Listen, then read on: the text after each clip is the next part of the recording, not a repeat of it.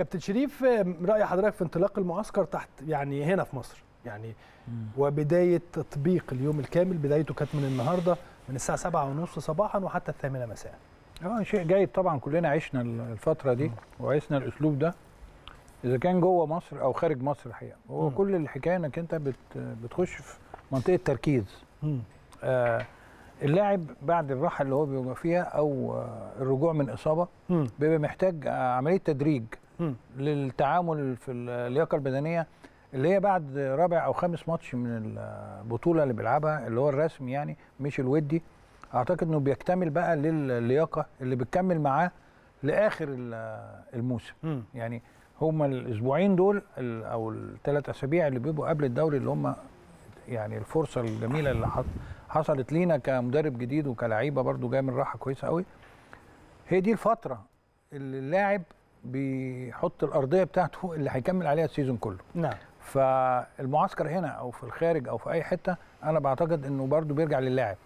إن التزام من الساعة 8 الصبح لغاية 8 بالليل والتدريبات اللي موجودة و- والمعيشة نفسها نعم. بتخلي الواحد بيخش غصب عنه.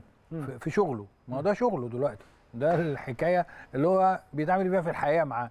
ده شغله ومسؤوليته والفترة اللي هو هيتحاسب عليها بعد أسبوعين ثلاثة قدام مدرب جديد قدام جماهيره قدام نفسه. مم. يعني أنا بشوف إن في لعيبة محتاجة كانت الراحة دي وكانت بتشتكي دايما من إصابات متلاحقة وحاجة زي كده.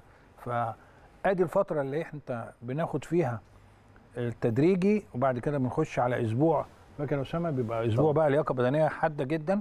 اللياقة دي محتاجة نوم كويس قوي محتاجة معيشة كويسة قوي خارج ال- الحكاية. لما بنسافر كنا آه بنبقى كلنا في معسكر واحد قاعدين بناكل مع بعض بنشرب مع بعض ما بنفكرش غير في الكورة. فبنتمنى إن الحكاية دي تبقى برضو المعسكر الطويل اللي هو اليوم واحد ده يبقى برضو في نفس الشكل.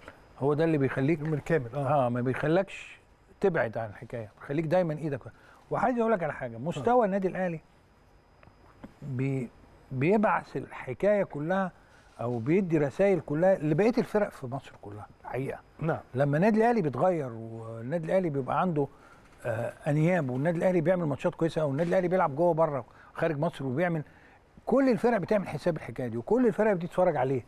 بشوف الفرق كلها إسلام بتحفز من نفسها. الفرق كلها بتجود من نفسها.